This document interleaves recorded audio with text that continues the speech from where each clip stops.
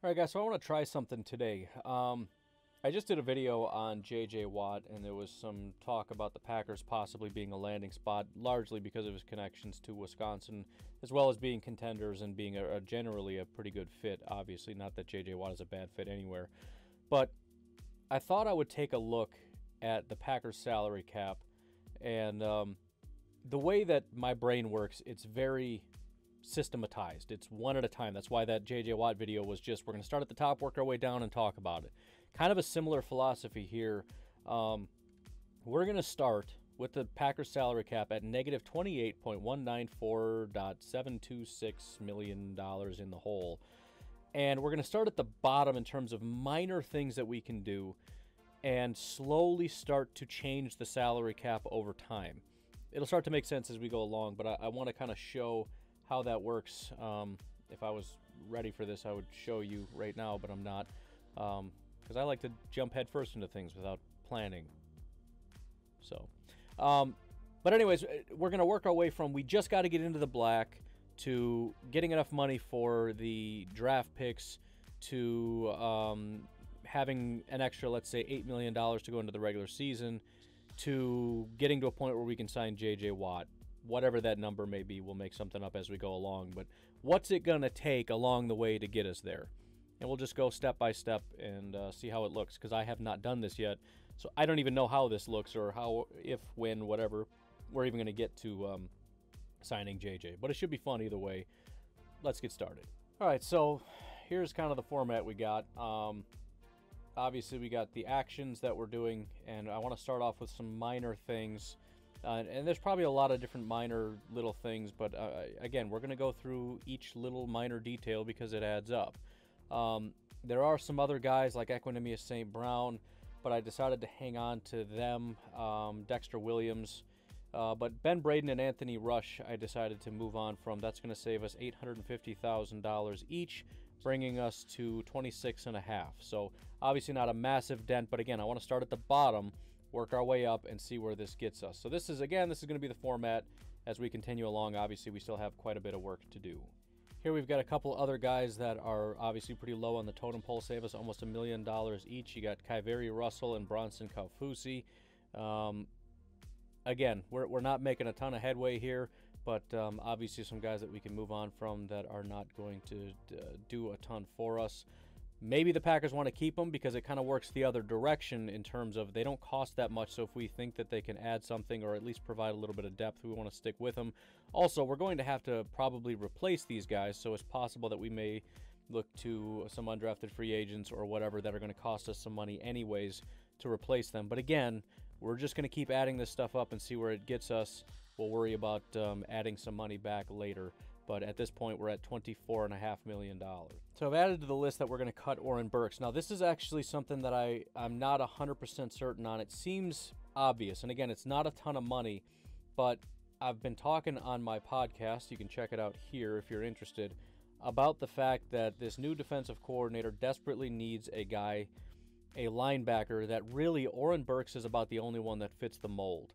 Um, being a very athletic, type of linebacker. I know we've got like Ty Summers or whatever, but I, I don't know. I, I, just I don't I don't really think that that's going to be the guy to be able to do it. There's a, a very very slim chance that perhaps Oren Burks couldn't thrive in a Mike Pettine system, similar to the way that Blake Martinez couldn't thrive, and then you know obviously he was better before Mike Pettine showed up. He was a lot better after Mike after he left and went to the Giants. Maybe Oren Burks does get better with a different, you know, our new defensive coordinator is a linebackers coach, and he utilizes linebackers more, and he cares about um, their success more. But it, I don't necessarily think that means it gets easier on them. So I'm going to say that it's probably not going to be it. He's going to come in and say, yeah, that's not the guy. Slim chance that maybe it is, but uh, we're at uh, just under 24 million at this point. So our first big cut comes by way of Rick Wagner. Um, I don't. Th- there's a lot of guys that I passed up on that we could possibly move on from that I'm I'm deciding to uh, hang on to. You know, Marquez Valdes Scantling, Billy Turner, for example, you could possibly move on from. But um, I, I, think if we're gonna move on from an offensive lineman, it's probably gonna be Rick Wagner. Now that's not an easy decision to make. Again, we're making some tough decisions to get us out of this this issue that we're in of, of a tough cap spot. Um, but I, I, I think the least amount of damage we could do would probably be Rick Wagner. He's done a great job, and the Packers, I'm sure, would love to be able to keep him, but we got to make some tough decisions. And uh, Rick Wagner is the kind of decision that you got to start making. So this gets us under the $20 million mark. So we still got a ways to go, but um, that was a big one. Another sizable cut is going to be Mr. Dean Lowry. It's going to save 4.8 million, assuming that is a post um, June 1st cut, which is what we're going to say that it is. Um, it's going to save us a little bit more money. It's going to mean a little bit more dead cap uh, next year. We're going to have to eat up a little bit, but it'll be minuscule and um, it'll obviously help us more this year, which is what we're after. Um, look, we need more defensive help. I just don't think he's been worth the money. I mean, it, it, anybody you cut is going to hurt. Um, I don't think too many Packer fans are going to cry about losing Dean Lowry, but the question is, how do you replace Dean Lowry? We're going to have to go out and find somebody. But hey, we're on the warpath to, to signing J.J. Watt here, so saving up another almost $5 million brings us under the $15 million mark. Again, we got a long way to go just to get in the black, but um, we're making some headway, and we haven't really done anything that's super damaging to the team at this point. This one to me is uh, somewhat of a no-brainer. We've got cut Christian Kirksey on here, saves a little over $5.6 million, gets us under the $10 million mark. Um, Christian Kirksey, I was not a big, massive fan of him coming here to begin with. I, I don't know that he's ever really been all that great of a linebacker. It's nice for Pettine to be able to get somebody that he's familiar with and is familiar with his scheme. Um, I, I, get the impression that he's kind of looking at this saying these guys are not doing what I want them to do. I don't quite have the right guys, and he felt a little bit of comfort having Christian Kirksey there, but obviously that didn't work, and I don't think the new linebackers coach slash defensive coordinator is going to see Christian Kirksey as the answer to his his needs. So I think this is a fairly easy one, especially considering the amount of money Christian Kirksey is supposed to be getting. There's just no way that uh, I think the Packers are going to be comfortable with that. So again, this is one of the easier um, cuts, in my opinion, is moving on from Christian Kirksey for $5.6 million. Next up, I've got restructure Za'Darius Smith, and this honestly just gets into completely speculation. Um, looking at the contract, I don't know that an extension at this point isn't the best option because the problem is when you he's only got two years left. There's this year and next year. So when you take this year's money and push it out, you're just pushing it into next year. Um, so if we look at his contract, he's owed $22 million this year against the cap. He's $20 million against the cap next year. If we extend him, let's say we give him today a four year contract, brand new contract, $17 million a year. It's slightly less than his overall, but he's getting two additional years for about the same amount of money. That would allow us the op- opportunity to push quite a bit of money out. You know, give him a big old signing bonus like they usually do, take that money out over four years. But rather than rebuilding an entire contract, I decided that we're just going to restructure for this year, and it's not that impossible. So I'm going to take $8 million of his base salary just for the heck of it, and um, we're just going to give him an $8 million check. And what that's going to do is we're going to give him $8 million in cash, put that in his pocket, and that's going to give us the ability to take that and, and split it up evenly over the next two years, meaning we're going to pay four of that eight this year and take four of that eight and push it into next year. So all we're doing is we're dropping the 22 down to 18. So that's going to save us, as you can see, $4 million. Next year, he goes from 20 to 24.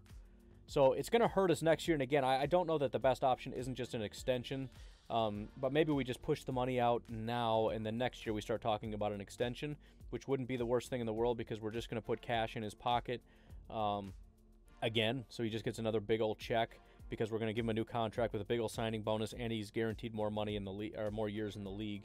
So either way, I, again, there's a lot we can do here. Um, but I, I, feel like at this point, $4 million is relatively safe. That drops us down to right about $5 million. Again, there's a lot of leeway where we could technically cut more, but if we're just restructuring, I think it's silly to try to push anything more than $24 million next year. Maybe you could. I mean, you could drop the whole $10 million put that in his pocket and make it 25 million. You know, it's not it's not impossible. I haven't looked at, at next year's um, situation quite as much, but this this is all I'm really comfortable with at this point. So we're just going to go with that again. We're getting into hyper speculative territory, but it is what it is.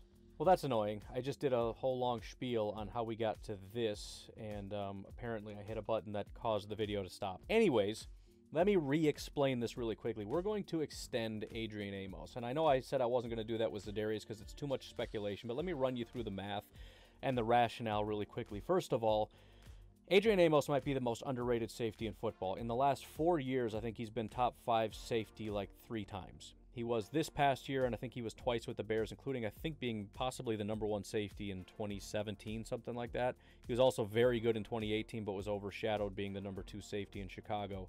But um, not only that, he's only 28 years old, and I think, uh, you know, we're bringing in a defensive coordinator that has that was allegedly hired because of his familiarity with the Vic Fangio scheme and having something kind of similar. So I expect safeties to be, as well as my consultation with Coach Hahn, saying that strong safety is also a pivotal point of, of this style of defense. So I just think for every reason they're looking at Adrian Amos as being a core piece of this defense going forward. So we are going to extend him. He has two years left on his contract. What I'm going to do is I'm going to give him a very generous offer. We're going to say, man, we we we love you. We want you to stay. We're going to give you a four-year contract worth 12 million dollars per year, and I think he's going to accept that. How did I come to $4 million in savings? I'm not going to go through all the numbers again, but let me just explain the rationale. We gave him Sorry, I bumped into the mic there. Uh, let me pull this back up. So we gave him a four-year contract worth $9 million per year. In the first year, we paid him $5.15 million. So I took that as a proportion. Let's say if we paid 5.15 on 9, how much are we going to pay on 12? It came to like 6 point something. So we drop the 10.9 million dollar excuse me, the 10.3 million dollar cap hit that we have right now and we drop that to six point something or another, and it saves about $4.04 million. That's how I came to that. We just used a proportion based on, you know, having a new contract. So um, again, we're, we're completely tearing up the old contract. We're giving him a new four-year deal, $12 million a year. We're going to pay him about $6 million. Um, uh, this, this, I mean, not not pay him. He's going to get a massive paycheck because they always give massive signing bonuses. But again, in terms of the proportion, uh, the cap hit, it's only going to be about $6 million. So we're going to save an additional four. And as you can see, that already brings us to about $7 million. So we're doing quite well. Um, hopefully, I'm still recording, so I don't have to resp- explain this for a third time. We are.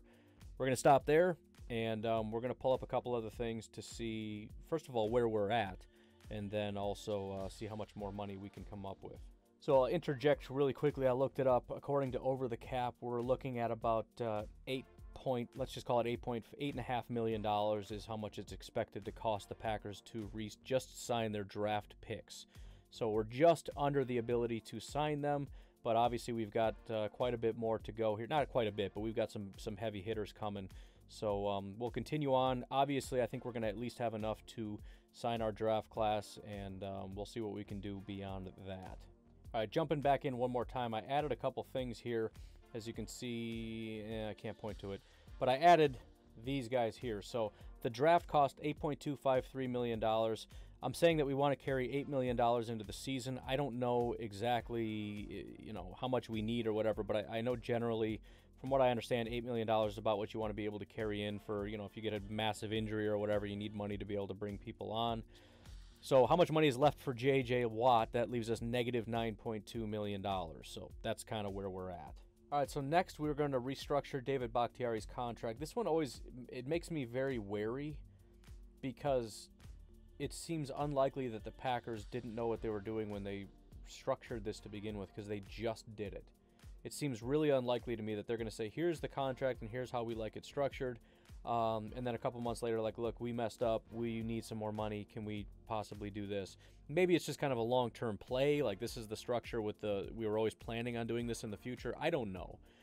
Um, also, I got a different number, but part of, um, I'm, using a couple different resources and I'm going to rely on their math. This is from um, IT Hedgehog on Packer, uh, on Twitter. He's the one that kind of did a lot of these different things. He came up with 8.3 million. I came up again with a different number, but I'm just going to stick with with his numbers on this. But um, the the general idea is he's owed like 11.03 million dollars in March. That is a cash check that goes in his pocket, and all of that goes on the Packers' salary cap in 2021. The idea here is that we're going to, going to convert that into a signing bonus because a signing bonus can be chopped up evenly over the four years Um, that comes out to like $2.75 million over four years, meaning instead of paying him 11 some odd million dollars, we're paying him $2 million. And then we have to add that to something onto the remaining years, which doesn't seem that big of a deal until you look at 2024 when you have to pay him over 30 million. But at the time, it probably won't be as big of a deal. Just seems shocking today. So it kind of seems like a no-brainer, and I don't know why David wouldn't do it. It's just, it makes no difference to him. It's just uh, how it's structured as far as the Packers' salary cap going forward. Um, I don't know. I mean, I, I, again, it's just how about we just give you a check today instead of waiting until March and then then we're good.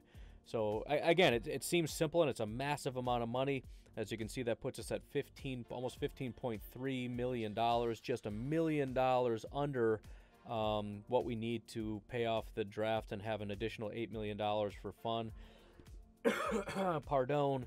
Um, and again, a lot of this is kind of just made up, but it is what it is. So the uh, effectively we're 15 million dollars over right now. So we're doing pretty well. Um, and we've got at least two more things that we need to do. And um, I mean, I'm feeling good about it. Again, a lot of people are panicked. And, and again, I don't know if we're going to do all of this. All these things have consequences. Maybe we want to keep these guys. Maybe we want to keep this guy. Maybe we want to keep this guy. Um, you know, I, I don't know. Maybe Dean is, we don't want to go that far. So we restructure it a little bit. You know, we're kind of making a lot of this up, but this is showing, and it's not even to the most, the furthest extreme. I mean, I, I could cut this down even more, but this is what I feel is realistic. And realistically, without really trashing our team, um, in fact, I'm kind of excited about extending Amos. I love that. Uh, Bakhtiari is going to be long term. Preston was going to go, like I said, either way. We could possibly get more out of Za'Darius. We're at 15.3. It's not as dire. Now, can we get JJ is a completely different question, but can we get here? Yeah. And we, we've got at least one more no brainer one more no-brainer that's going to save us a bunch of money. So we'll we'll do that right now. All right, so we're kind of uh, I gotta gotta make this a little bit bigger. We'll get to there. We'll we'll get there next time. Um, again, I'm kind of making these numbers up a little bit because I don't exactly know how the structure would be, but but I want to give Davante Adams an extension.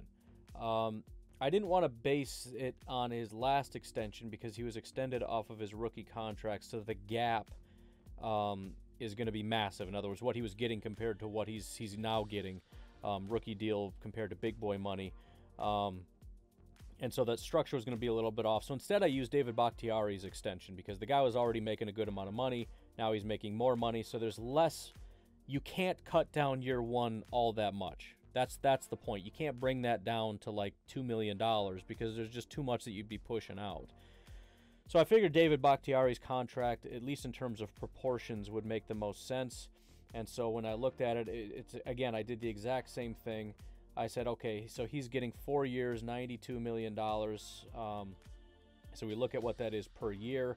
They're paying him 16.25 in his first year. So we're looking at what was that? I think about 70% of his per year total was paid in year one. If we use that as just sort of a general structure, 70% of what Davante Adams is getting now at about 16 million ish, it drops it a little bit under $5 million. So I just rounded it to say that, but that extending him is going to save 5 million. Again, no idea. No idea. But I think it's realistic considering that's essentially proportionally exactly what we just did with David Bakhtiari. If we just keep it exactly proportional, we save about $5 million by extending Davante Adams. As you can see, that puts us uh, over $20 million in the black, and it gives us about $4 million more than we would even need for whatever for signing free agents, right? And again, if you drop this down to six million dollars. We have now six million dollars for JJ or whoever in the free agency realm that we decide that that's what we want to do. So um, the only other thing left is Aaron Rodgers, and I don't know how comfortable I am playing with that, but let's look at it anyways because that's what we're doing today. All right, so we extended this out a little bit, and I've got some numbers here. That'll all make sense in a little bit, but we're going to restructure Aaron Rodgers' contract, and I, I kind of like this a little bit as you've probably heard, what this means is there's no way we're moving on from him. But I, my contention is they learned that when he won the MVP. Um, not everybody agrees with me on this, but I, I think by drafting Jordan Love, and this doesn't mean we're never going to move on from Aaron Rodgers and use Jordan Love, right? It just means it's not going to happen in 2021, 2022, or 2023, is all that means. Possibly 2024. But I, I, I think when you drafted Jordan Love, the the issue was we didn't know what we were getting from Aaron Rodgers, right? It wasn't exactly the greatest performance we've ever seen in our lives in 2019. And although there was there was a possibility that he blows up in the system, we hadn't seen it. Once it happened and he won MVP, it became very clear this is it. This is the future. And there's no way he regresses in the next two to three years to the point where we should have never signed the guy. We're talking about 2021, 2022, and 2023. So I think they know that we're sticking with him, right? What happens with Jordan Love, I don't know. You can say it was a bad decision, but I think it was a hedge your bets where the worst possible scenario is that Aaron Rodgers is the MVP and we have to move on from Jordan Love. Whoop de doo. And again, they may still move on after that. Here's how this works logistically, though. Here's the situation. Um, this right here, 14.352 is his base salary. We're going to convert that. Uh, we're going to drop that down to $2 million in base salary. So that's we're going to drop 14.352 down to 2 and we're going to split that over 3 years and this is what it looks like. So we have to take this is now these two. So we're talking 6.04 that's where we get our savings of 8.312, right? Massive savings, and we'll get to all this in a little bit. So stick with me here. This becomes this. Now, the concern that everyone's going to freak out about is this because we have to take 4.04 and add it to next year, which brings his total up to 43.85 million. That's a disaster. That's horrible. How can we possibly do that? Simple. The Packers were brilliant by having his final year only be $28 million against the cap, meaning next year we just do it again. Next year we do it again. And what we're going to do, because we have 43.85 this year, i.e., or, or, you know, in 2022, but only $32 million the next year, we can take $10 million because it's a base salary of $25 million. And he's, I don't think he's ever going to say no to taking um, taking bonuses because again they're just writing a check and stick it in his pocket of course you're going to take that it's guaranteed money the day they sign the check and it's cash in your pocket in your bank account so what you do you take $10 million you split that as you give them a $10 million bonus you take 5 million off of this that drops that down to 38 million this brings this up to 37 $38 million and $37 million it's not going to kill anybody. The only real problem with this is the fact that, again, you cannot move on from them. It's going to kill you. But I think the Packers learned that. And I think the structure of the contract was such that we don't know for sure if we're going to stick with Aaron Rodgers. Just same reason they drafted Jordan Love. It's not just because the board said so. Of course, that's part of the, it's a major part of the equation. But if you know you're sticking with Aaron Rodgers, you do not draft Jordan Love. Now they know. And so, again, not only are they restructuring the way that they view things, they're restructuring his contract. His contract was one that reflected a team that was ready to move on in 2022, possibly. They're no longer ready to move on. I don't think. So I think they are in a position now to restructure this that in a way that guarantees he's sticking around, and I think Aaron Rodgers is going to want that. Not only is he going to like the financial aspect of getting more cash in his pocket, but I think he's going to like that the Packers are, are essentially saying you are locked in for the next three years as the Packers' starting quarterback, and we'll reevaluate it after that. Now, again, as you can see, we are now $28 million over the cap just by doing, again, some, pretty, some things that I think are completely realistic.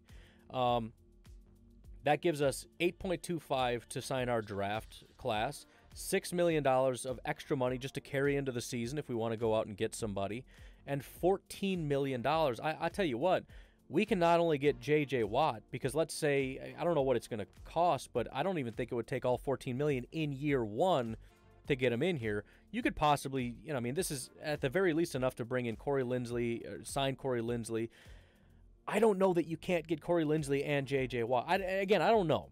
I mean, if, if he's going to cost $25 million, then year one is not going to be less than 14. I don't even know if 14 is going to be enough, but I don't think he's going to cost $25 million. I don't know what J.J. Watt's valuation is, but the point is, is there enough money for him? Yes. Is there enough money for Corey Linsley? Yes. Can we get everybody? No. We can't have King and Linsley and um, you know Aaron Jones and Jamal and JJ. Obviously, I mean, very few teams can do all that, but this is what I'm looking at. I think this is you know 14, 15 million over what you need for the draft and for you know extra little carrying cash, you're gonna have about 14 million over, possibly.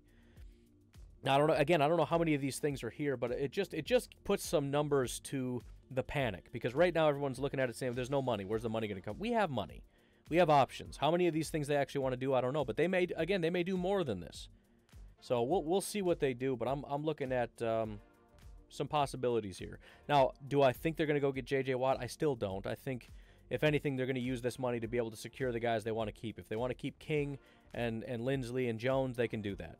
If they want to keep uh, Linsley and maybe go out and get a, a, a free agent cornerback, um, cool. And then we'll focus on the draft or a tackle or whatever. But the, I think the, the real important thing here is to show that they have the flexibility, they have the ability to, you know, not have to make horrible decisions because I think a lot of Packer fans see this as we're doomed right? We're going to have to cut everybody. We can't sign any of our free agents, and we can't sign any other free agents. We barely are. I don't even know how we're going to sign our draft class. It's not the case. They'll be all right. Um, it's uncharted territory. The Packers are not used to this, and this is what happens when you get aggressive. Packer fans have always wanted, hey, go all in, go all in, get everybody, do all the things. Well, we did. We got Za'Darius and Amos and Turner and Preston and all these guys, and this is what happens. You know, you get into these little panicky territories. So um, they're going to be fine, and it'll be interesting to see.